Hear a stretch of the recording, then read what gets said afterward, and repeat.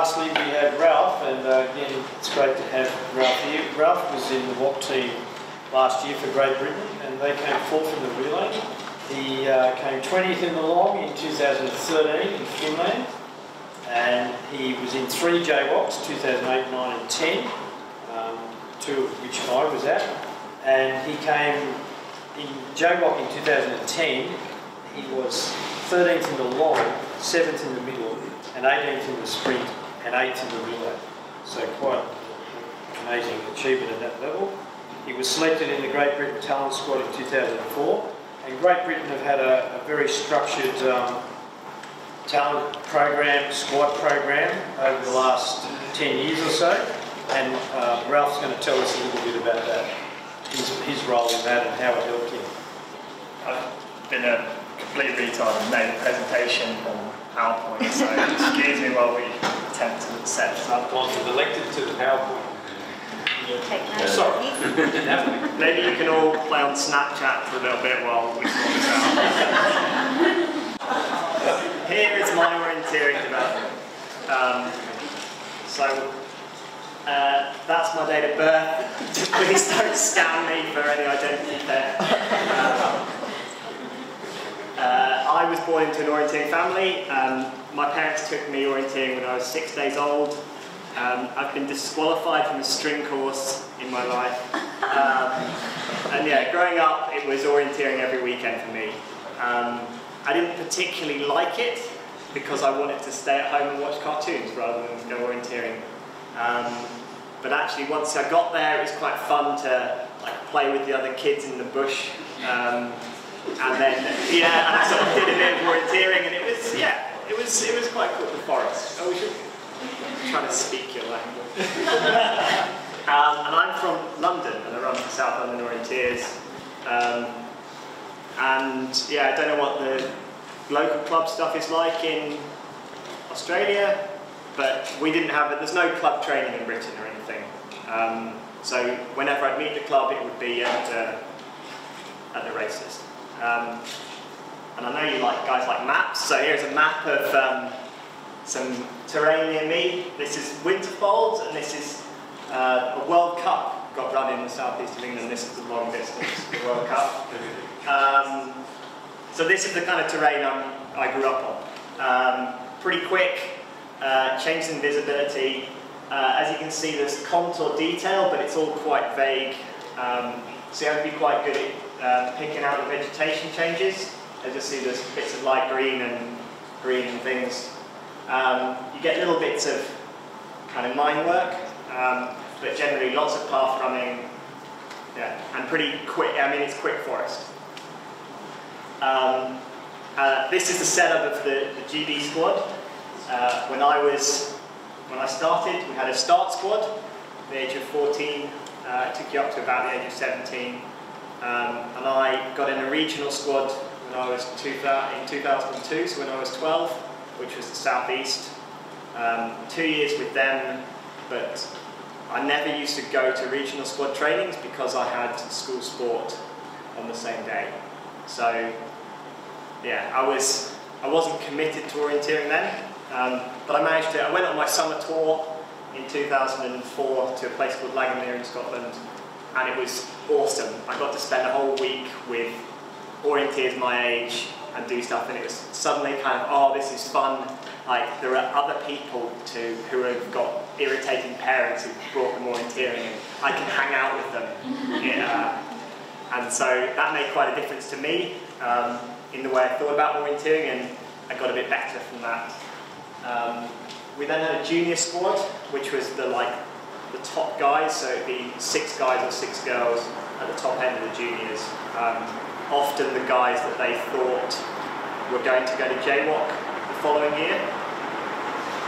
Um, and we had a senior squad from the age of 21 and above. Um, now the system is a little bit different. We have a talent squad from the age of 16 and above, and we have a development squad and we have a performance squad. Um, what they've done is they've taken out the ages of orient on orienteering, so you're not prescribed, just because you're a junior, you don't go into one of the junior squads. If you're a junior and you're exceptional, you might find yourself up in the performance squad. or the development squad. Um, and the idea of the development squad is that it bridges the gap from juniors to seniors.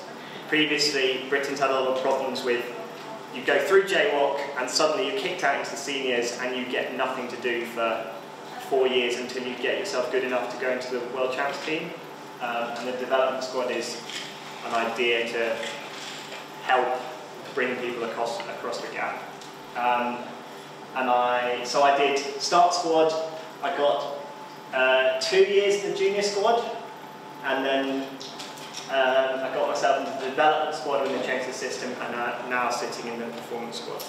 Uh, the goal of the performance squad is to get top 10s at world champs within the next one to three years. Um, and I've been hit for two, so I better pull my finger out. Um, so, how did I make a JWOC team? Well, the first year I was eligible was 2007, and I missed out. Um, we have a weekend test race with a middle race on the Saturday and a long race on the Sunday. That's the way it worked. And I did really well in that middle race. I was fourth guy. I was maybe a minute down on the best, the like best guys that uh, the race, and I thought I was pretty awesome. And then I had the long race, and it uh, 75 minute winning time, and I don't know, took 100 or something. Um, it went wrong physically, hit the wall.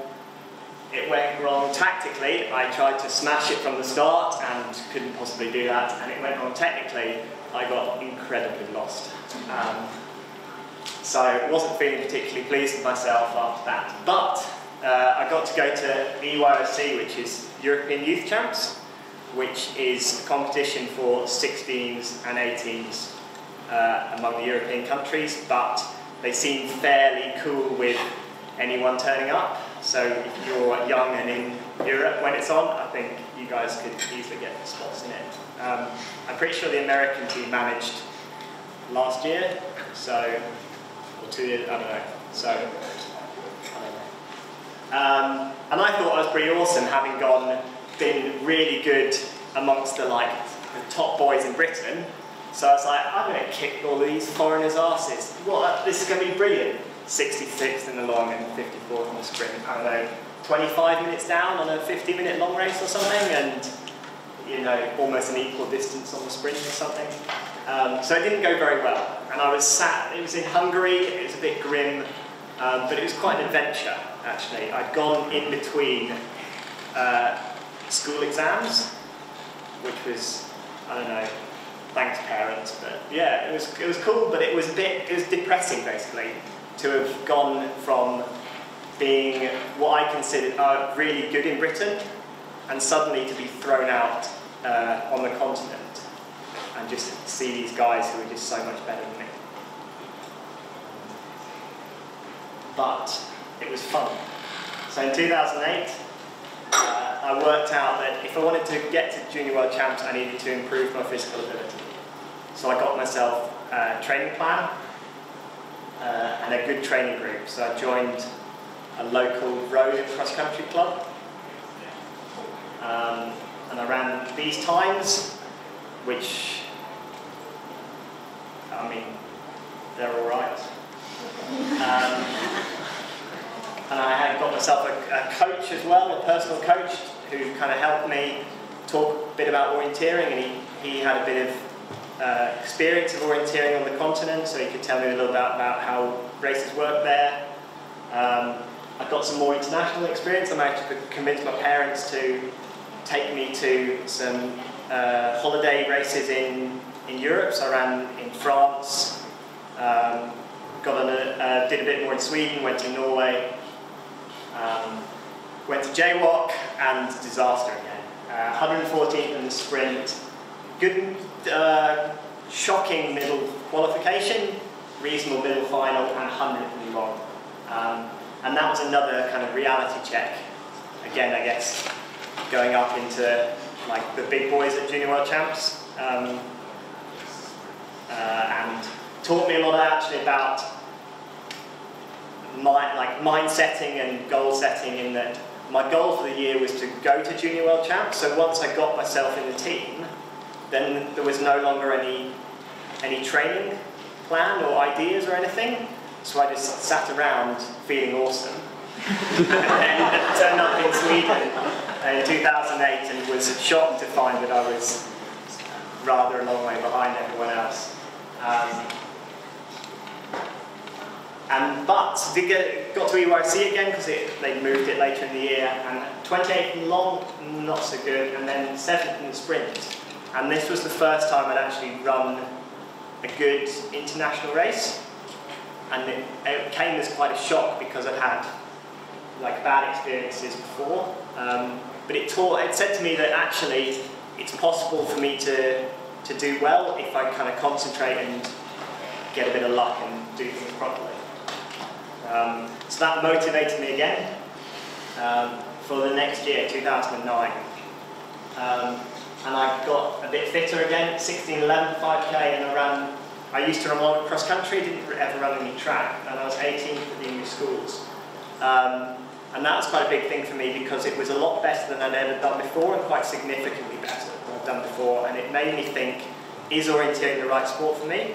Or should I actually have a crack at like athletics or cross country or something? And just see where that got me.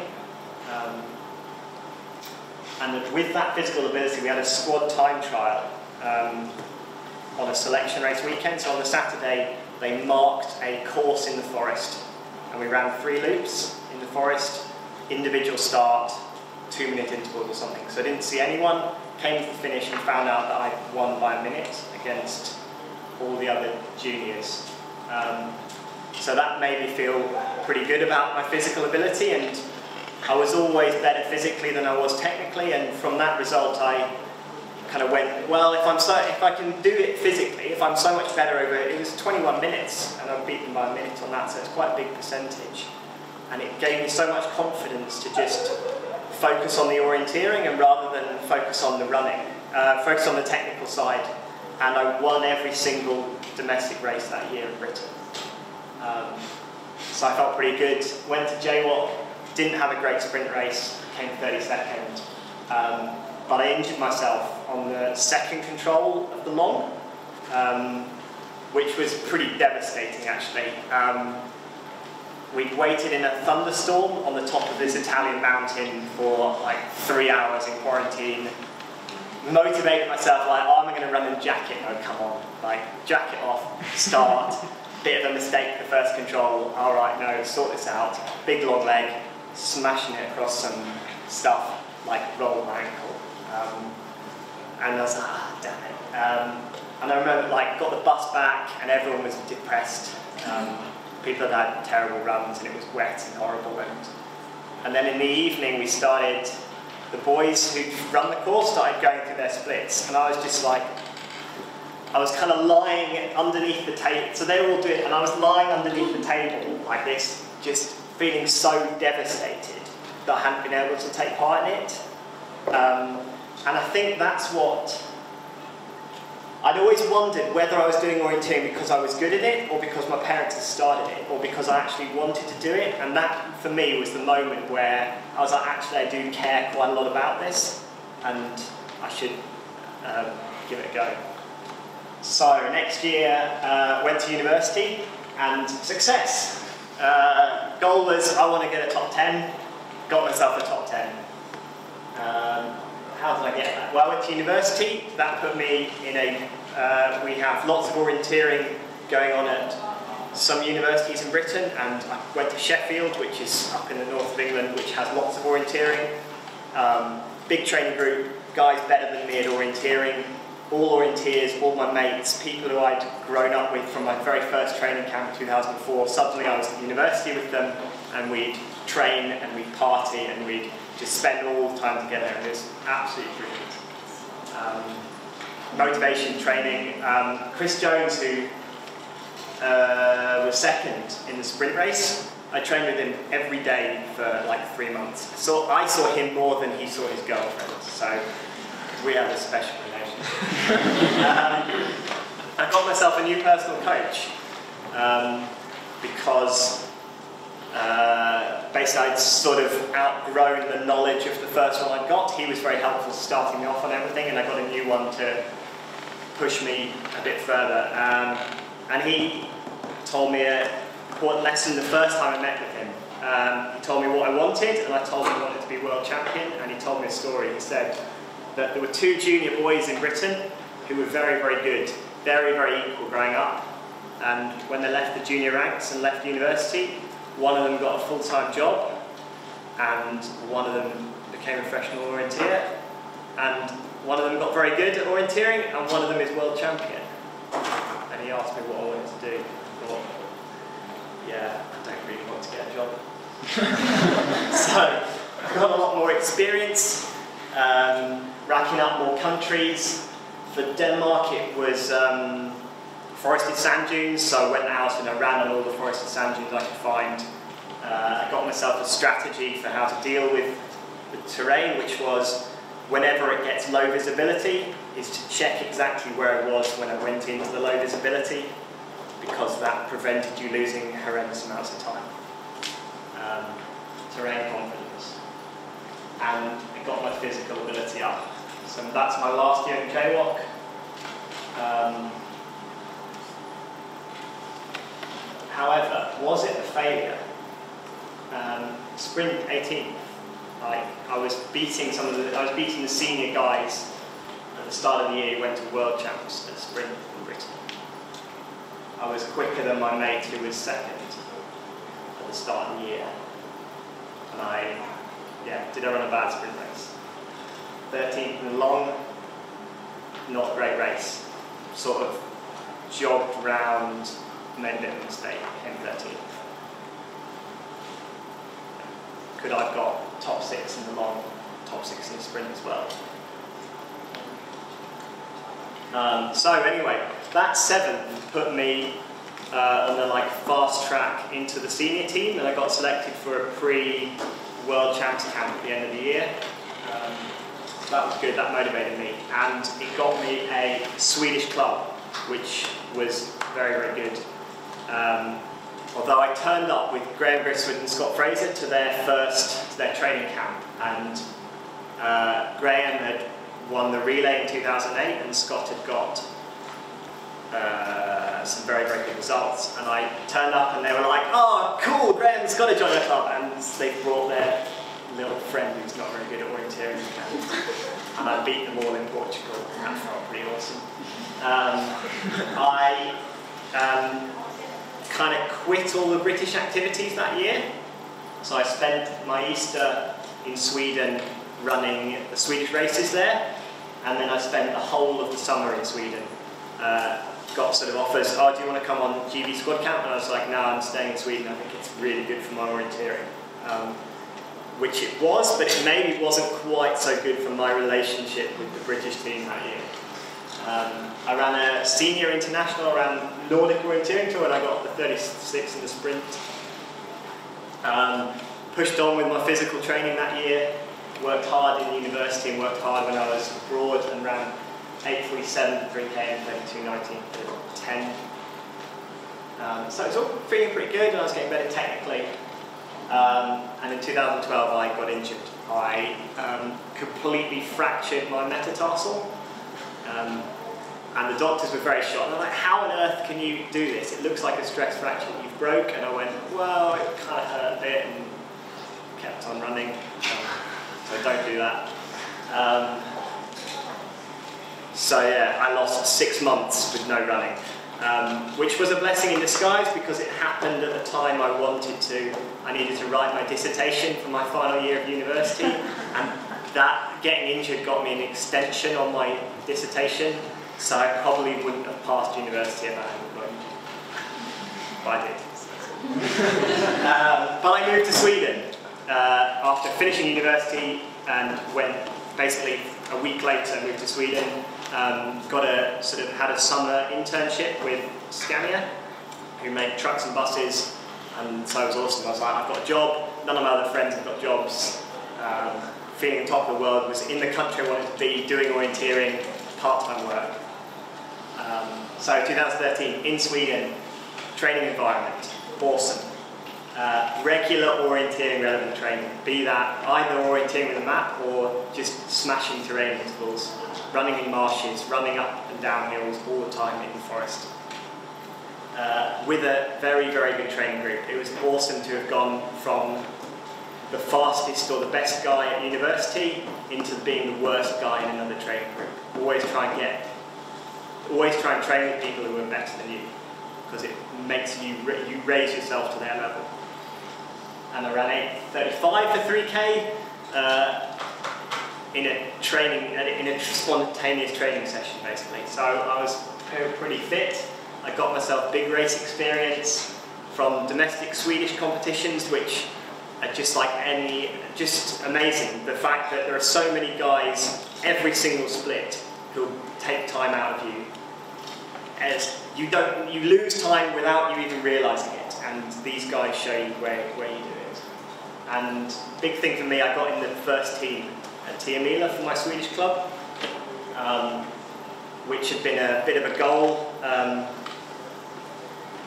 and this is this is Tiomila I know you like maps. So this is me um, I went uh, ran eighth leg uh, oh no ninth leg day uh, nine kilometres or something, and everyone had been drumming this up as, oh, this is the most pressure you'll ever be under, like world champs. The pressure is you training with a group of guys all the time, and then you have to try and do a result, do a race with them. So thinking, oh god, this is, how nervous am I? Like, am I going to be good enough? And boom, boom, we're all very, very good, apart from this little mistake up here. Um, and this is my first orienteering epiphany is I knew exactly where it was there. And I just went, oh, it's just down there. Two minutes later, gone. Like, gone out fourth, could have caught third there if I hadn't made that mistake. And then sitting at the end, having had quite a good run, thinking, why am I such an idiot? How, if I knew where I was, did I then not go in the right direction?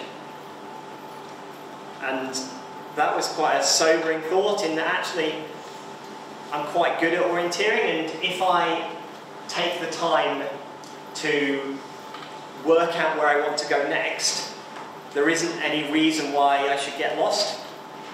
Um, so the next big race was Jukola, and this is the Jukola map. Um, where I had a very, this is long night, and I had a very, very good run. I was ninth on long night, and I took the team from 54th to 12th or something. So I was feeling very pleased with myself. Um, the coach, I ran in the second team though, which irritated me immensely. That we had a very good first team and a very good second team to start with. And then and the coach said to me, oh, one of the guys is feeling a bit sick. So you know that you're like an option for the first team. I was like, and he got sick and he dropped out and they put someone else in. I was like, ah, he's quite good, it's okay. And then another guy got sick, and I was like, I'm close to the team, and they put someone else in. And then a third guy got sick, and they didn't put me in the team. And, they were, and then that left the second team short, and they, they, they said, you're the only guy who can run far enough at night to run this leg. And I was very, very angry with them. I like, I'm going to show them why I should have been in the first team. It was all it very, very, good, good day. Um, yeah. Um, so that was all leading up to towards World Champs. So I got total experience. I got 17 different countries that were volunteered in, 17 different types of terrain, and a new coach as well. Uh, and I made world champs, and there'd been a bit of basically the British guys who'd gone the two years before had missed out on qualifying. So I was like, oh, this is going to be quite difficult. I'll take, I'll just, I really hope I qualify. I qualified easy and ran well. World champs long, came 20th. Felt very pleased with myself. Um, pretty good race. Um, a bit of the, like a bit of stuff here and there, but yeah, maybe like a minute or something over whatever an hour and seven or something. So yeah, pretty pleased myself. So I was like, right, here we go, moving forwards. 2014, big year, big year coming up, and I got injured again. I got another stress, I got a stress, just a stress fracture this time, which was three months out. Um, so I decided I needed new training ideas, and the training ideas was there is no way I can run enough without breaking myself. I'm going to have to learn how to cross train, so I would sit on the bike for an hour a day uh, and run as well. And I go in the gym and make my legs stronger to cope with the loading forces. Got myself 23rd at middle at European Champs, quite happy with myself, but I skipped, I opted to skip World Champs uh, that year, focused on my Swedish races. Tiomila and Jukola, uh, ran last leg, Team Tiomila, team came third, awesome, everyone felt very good. Jukola ran first leg, came back uh, at the front of the pack, pleased myself, team came third. Uh, ran Swedish champs, and this was a big thing for me. Is this was the first time I'd ever been fast enough to get a top result in Sweden. Previously, if I'd done the best time I could have done, I'd have still only been 10th or something. And this was the first time I was running fast enough to have been up in the medal positions at Swedish champs. So all going very, very good. Um, and then we had home world champs this year. Um, and it was all, well, I worked quite hard. Things went, I killed some good races in Portugal this year. I ran well at Swedish Champs Middle, got some faster track times, uh, and I did more training. But uh, I um, uh, ruined Tiomila for everyone, which wasn't good. I also ruined Jukola for everyone, which wasn't good either. I ran terribly at the World Cups. Um, I got stressed and sick and overtrained, like trying to get as fit as possible for the World Champs, basically. Um, came off the back of the Easter races, not having run as well as I wanted to, and smashed the training for a month and got sick. Um, so World Champs was sort of a positive and sort of a negative for me this year. Um, negative in that I actually really wanted to run the middle as well as the relay and I wasn't good enough to get in the team. Um, and like came fourth in the relay but like we were very very close to a medal. And once again it was all my fault. So yeah. Um, so but it was pretty I mean it's awesome to run at our home world champs. Um, and we had a good fun as a team, and we did it well. Uh, so the key factors are, uh, if I break it down into lifestyle, um, moving to Sweden, massive deal. Getting part-time work, massive deal. It's, it's just very, very difficult to do the training and not that I ever have had a full-time job, but I imagine it's quite difficult to get the training, get the training and the recovery and get time off if you're always struggling, oh, I need time off to do this race, if you don't have a job, then you always have time off to do the races. Um, and I've been very lucky getting support from uh, my Swedish club and British Orienteering, and well, now Orienteering Australia, letting me bum around for another six months. So fantastic. Mental factors. Uh, confidence that my orienteering is good from putting myself in pretty pressure situations. So, home world champs relay last leg, did I do a good job orienteering? Yeah. So I, why can't I orienteer in the next pressure situation? All of the evidence is there to suggest I can do uh, and understanding that if I just take the time and go, actually, shall I just check my compass and check all the features? Oh, it's actually that way rather than that way. That I shouldn't lose huge amounts of time. Um, tech, technical experience. Go and get in as much different terrain as possible. You've got granite gold mining and Spur Gully in Australia. That's three types. Go to Europe. There's so much more terrain types to go and experience. Even within, you like Switzerland, that, that'll be different. Uh, Finland, wherever JWOC is next year, you need to go in the right part of Finland to get that experience. Um, and a kind of model of how I want to orienteer. Uh, physical, Time in terrain in Sweden, big deal. Running terrain intervals, marsh intervals, orienteering intervals, getting the strength to run in the forest. Um, and I've got reasonable ground speed, which means that, yeah, my sprint orienteering is quite okay. Uh, tactical, doing, doing more races. Running in relays, looking at how the best guys run, when they push, when they slow down, looking at their GPS tracks, looking at my own races compared to theirs, and extra uh, fun. If orienteering is not fun for you, there is no way you can put yourself through the uh, experiences that you have to to be good at orienteering. Um, like the first, the 2004 tour that started it all for me, um, went to university with three of the guys who were there, and the, one of them was my roommate at World Champs this year. So you're going to make friends for life. Uh, so what's missing? Why, why aren't I better? I get injured too much. Injuries mean I can't do the training required. I can't train twice a day, every day, 52 weeks a year. I need to run more in terrain. I'm still weak. The guys still take time out of me in the terrain. I need money. and I need more world ranking points. Uh, so if you sum that up, I need more training time and I need more money. And that will get me better world ranking points, that will get me a better start at world champs, so I can be better. Does anyone have any questions?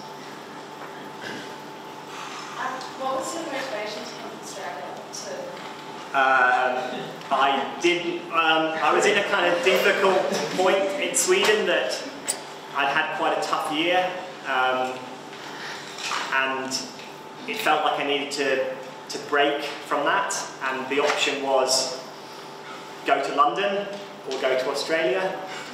And yeah, yeah, summer in Australia sounds very good, and it especially sounds very good when people tell you how cold and miserable it is in Sweden right now.